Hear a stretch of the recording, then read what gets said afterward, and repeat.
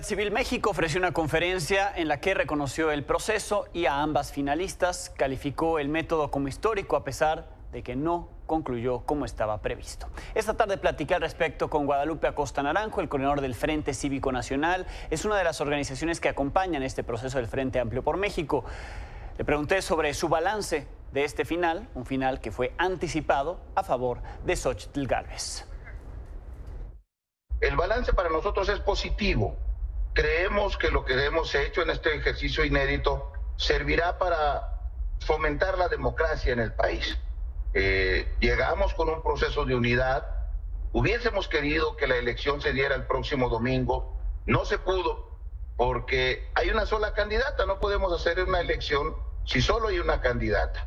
Mm, eh, Beatriz tomó la decisión y su partido finalmente de no llegar hasta la parte final del proceso ella ha actuado con mucha madurez. Hoy se reunieron Beatriz Paredes y Xochitl Galvez, cerraron filas. Tenemos una unidad plena.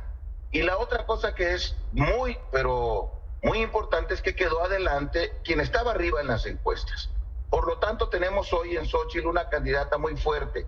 Y las organizaciones de la sociedad estamos muy satisfechos. Estamos pidiendo que el próximo domingo hagamos verbenas populares en todas las plazas del país para festejar este proceso y decir con toda claridad que hay unidad plena en el Frente Amplio por México y que tenemos hoy en, en Xochitl Galvez a una muy buena persona para encabezar nuestro esfuerzo y que le agradecemos profundamente a Beatriz Paredes su generosidad de ir con quien estaba mejor en las encuestas. ¿Qué lectura le da usted por qué el PRI quiso bajarse antes?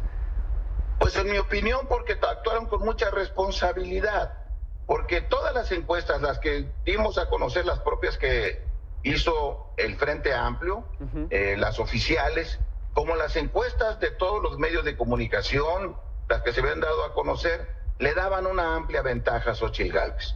Y actuaron con responsabilidad, creo yo, para ir a la batalla, a la batalla real que tendremos en 2024 con quien está mejor en las encuestas. Eso es una muestra de madurez y de responsabilidad y nos da mucha satisfacción que Beatriz así lo haya entendido también, que Beatriz con toda su experiencia, siendo una mujer con una gran trayectoria y una gran capacidad, también haya contribuido a la unidad. Esto nos fortalece. Mientras en otros lugares hay conflictos, acá en Frente Amplio hay unidad y eso sí muy importante. ¿Esperarse hasta el domingo iba a reflejar un PRI débil, un PRI insuficiente para que su estructura fuera a votar por Beatriz Paredes? ¿Lo considera así? Mire, yo creo que Xochitl Galvez iba a ganar la elección. Que igual que había ganado las encuestas, iba a ganar la elección. Pero en el PRI tomaron la consideración de que era mejor cerrar filas de una vez. Antes, sí. Si usted me pregunta a mí que yo qué hubiera preferido yo, yo hubiera preferido llegar al día domingo pero bajo ninguna circunstancia este gesto de generosidad del PRI significa un síntoma de debilidad de su partido, sino significa un acto de responsabilidad con todos. Por eso es tan importante. Bien, ahora, eh, se habló también de la posibilidad de que Morena fuera a intervenir, es decir, que no solamente el PRI quisiera bajarse, sino que para todos era conveniente mejor no ir a esa elección porque el padrón estaba inflado, de hecho lo limpiaron, se confirmó que Morena estaba buscando interferir en el final del proceso.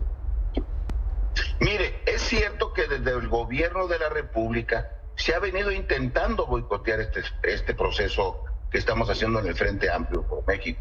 El propio presidente de la República, usted le puede constatar, todos los días, una mañana y la otra también, ataca a Xochitl en su particular, ataca al Frente Amplio en lo general, intenta intervenir. Y si había una eh, alerta porque se habían intentado afiliar gente que estaba en el padrón de Morena y que fueron detectados por nuestro programa. Más de 70 mil personas que se habían inscrito están en el padrón de Morena. Y eso, afortunadamente, pudo detectarse y limpiarse. Y entonces había rumores de que en distintos lugares, en Guerrero, en Chiapas, en Veracruz, en Morelos, en Iztapalapa, se estaban preparando gentes para intervenir en el proceso y tratar de causar disturbios y dañar nuestra jornada del, día 3 de septiembre. Pero eso no fue lo fundamental. Nosotros sabíamos esos riesgos desde un principio Y de todos modos íbamos a poner las urnas y estábamos preparados para eso. Lo que evita la elección es que finalmente nomás hay una candidata. Beatriz decide retirarse al ver que había una clara ventaja de Xochitl en las encuestas y cuando hay una sola aspirante no puedes hacer una elección. Esa fue la razón fundamental. Bien, ahora usted conociendo a Andrés Manuel López Obrador, en algún momento estuvieron juntos en, el PRD.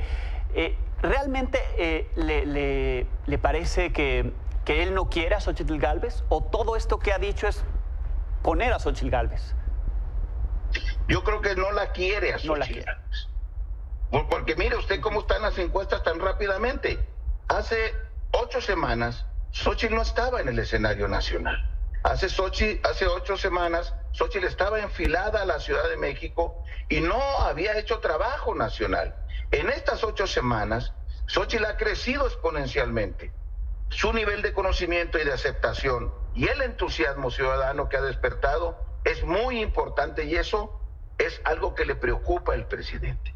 Si el presidente estuviera confiado que el próximo año es un día de campo para Morena, no estuviera haciendo todo lo que está haciendo.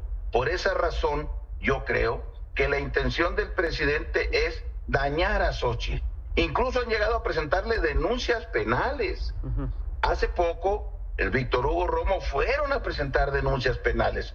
Nosotros somos solidarios con Sochi, le tenemos un gran cariño y reconocimiento a Beatriz, pero era evidente que el presidente de la República, quien quiere dañar, lastimar, es a Xochitl Galvez. Por esa razón, que ella haya quedado como aspirante de todos, como la que encabezará el esfuerzo del Frente Amplio por México, es una muy buena noticia. Y que la unidad se haya consolidado es una segunda muy buena noticia. Y que gente de MC esté pensando incluso en incorporarse con Xochitl es una tercera muy buena noticia Estamos con altas posibilidades de dar la competencia en el 2024 y yo en lo particular creo que tendremos por primera vez a una mujer presidiendo la presidencia de la República y que eso será el próximo año con Xochitl Gálvez. Compromiso con ella hasta el final, Guadalupe, se lo pregunto porque en otros procesos eh, llegan eh, solas. Eh, acaba de ocurrir en el Estado de México